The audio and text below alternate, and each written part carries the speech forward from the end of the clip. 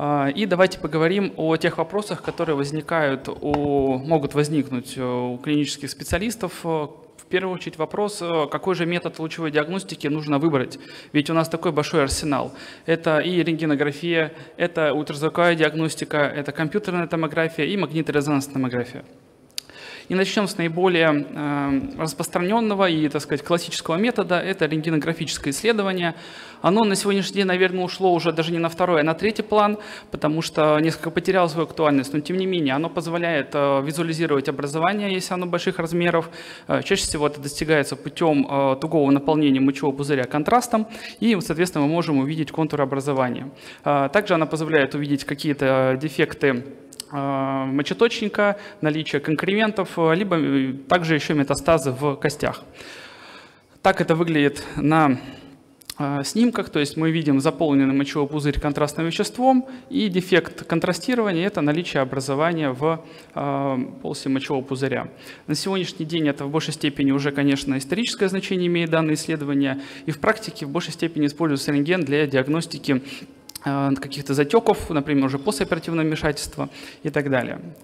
Следующий метод лучевой диагностики – это ультразвуковая диагностика. Она э, является на сегодняшний день наиболее распространенным, и я так бы сказал, как скрининговый метод исследования, потому что э, Чаще всего она выполняется в каких-то при первичных приемах, э, даже урологи могут выполнять данные исследования, имея сертификат.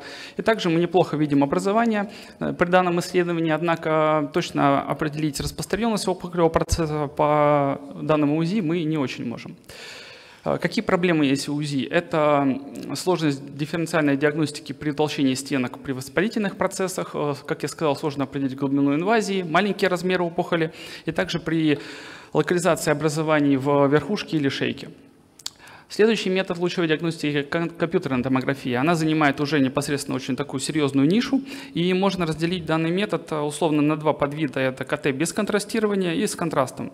Без контрастирования выполняется, скорее всего, при каких-то, опять же, скрининговых исследованиях, нецеленаправленных при поиске образования, поэтому контраст не вводят.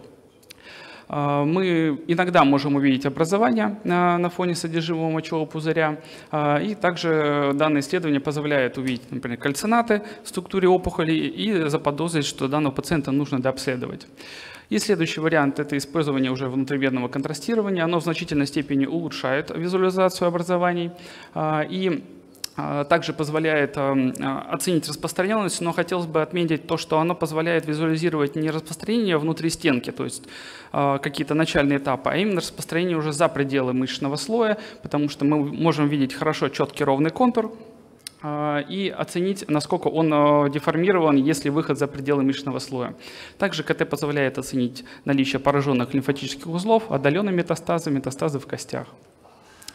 И вот неплохой пример а, опухоли мочевого пузыря. Мы видим, что несколько образований, наиболее крупные указаны стрелками.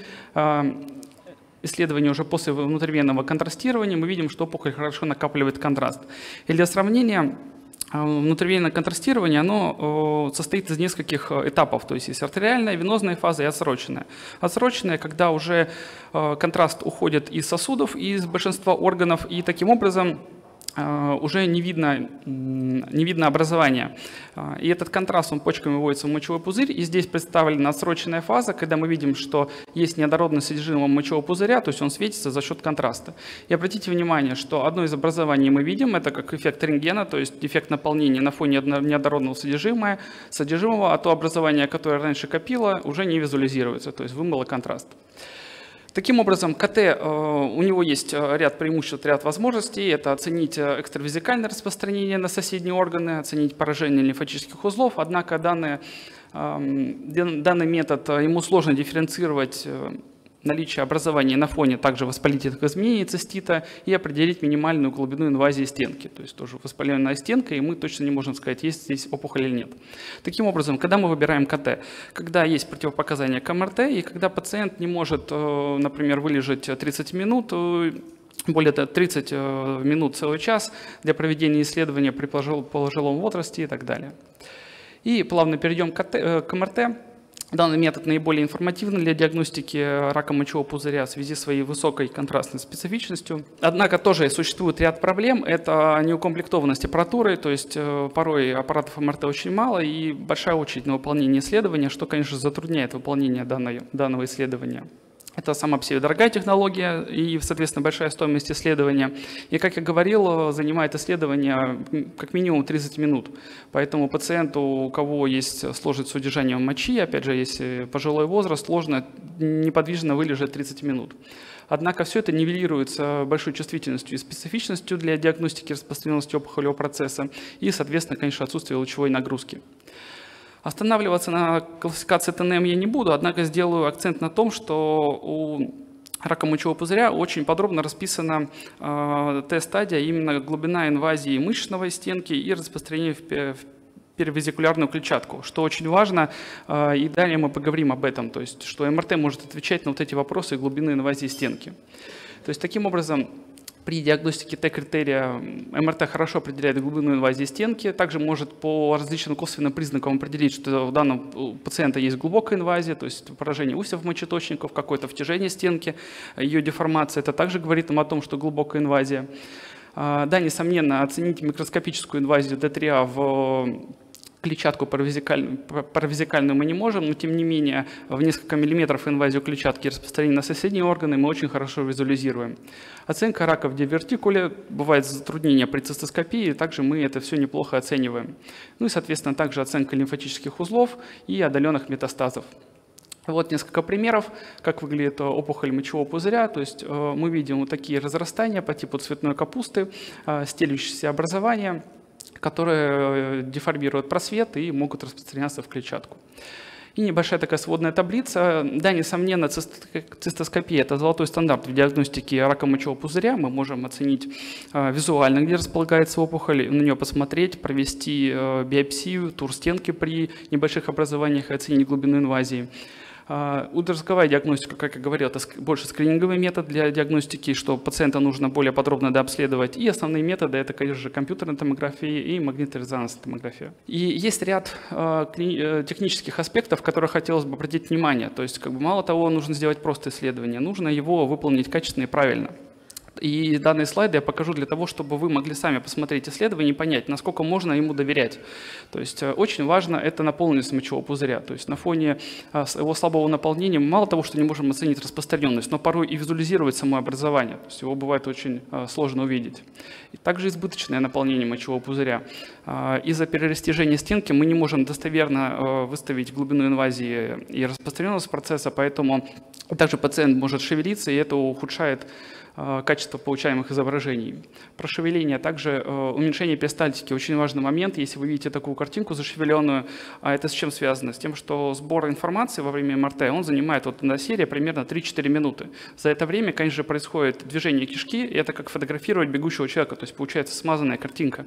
Поэтому очень важно нивелировать перистальтику различными способами, но это уже ухищрение лучевых диагностов, то есть мы там накладываем мешки на живот с песком, э, даем бускопан и так далее. Это все позволяет получить четкую, хорошую картинку.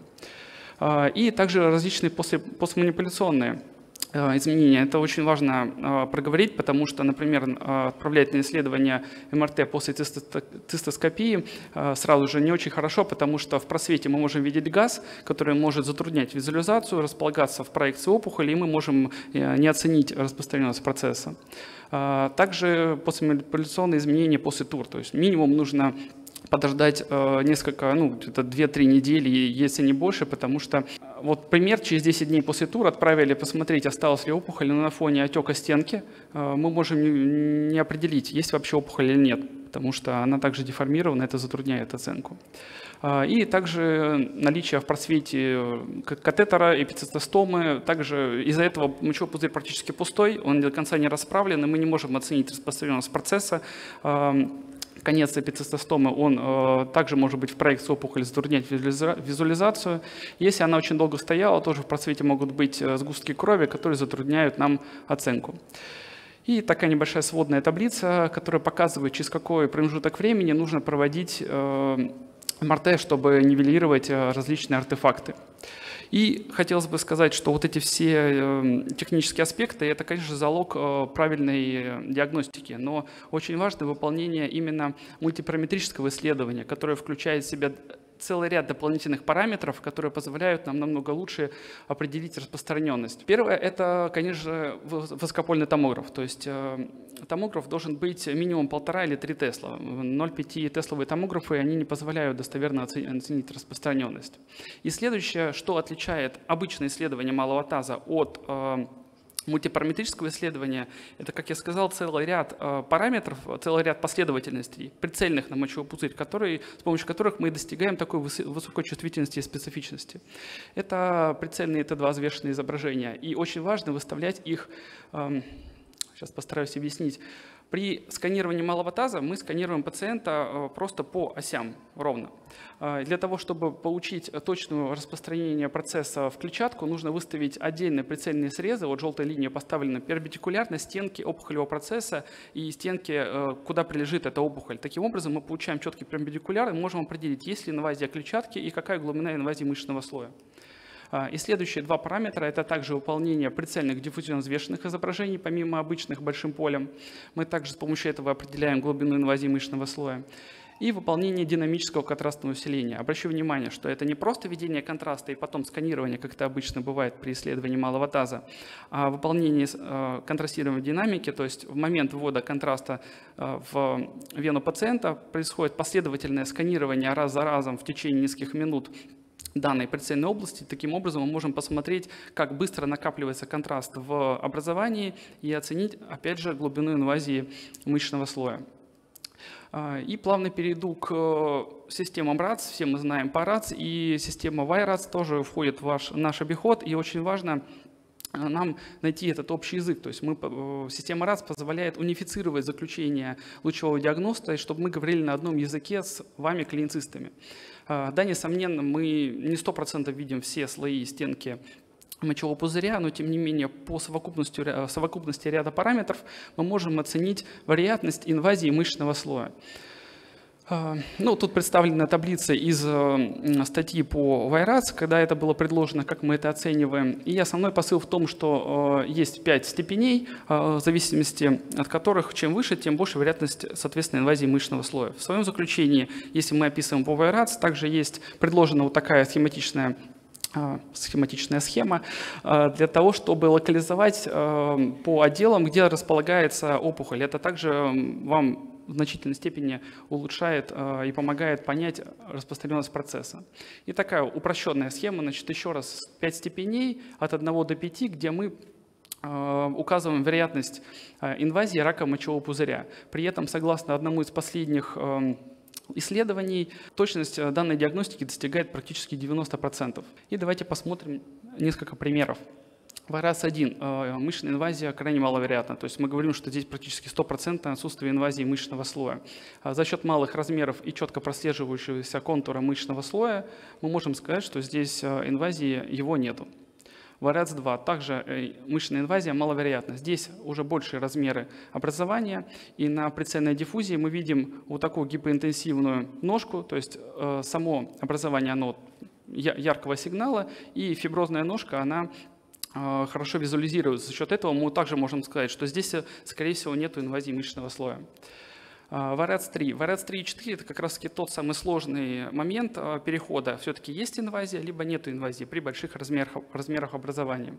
Здесь также по совокупности параметров мы оцениваем то, что достаточно четко прослеживается мышечный слой. И здесь нам очень хорошо помогает а, динамическое контрастное усиление. То есть на одной из серий мы видим а, прослеживающуюся гиперинтенсивную полоску, то есть накопление контура мышечного слоя, и можем сказать, что здесь, скорее всего, нет инвазии. Но из-за больших размеров образования четкой уверенности нет. Но тем не менее мы ставим VRADS-3 и подтверждается гистологическим исследованием.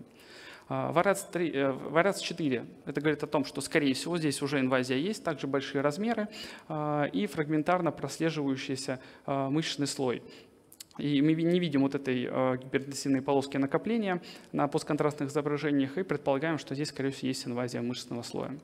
И вариант 5 здесь уже практически стопроцентная по нашим данным инвазия мышечного слоя, и даже можно сказать, что здесь есть минимальная инвазия провизикальной клетчатки, потому что наружный контур мышечного слоя также прослеживается неотчетливо.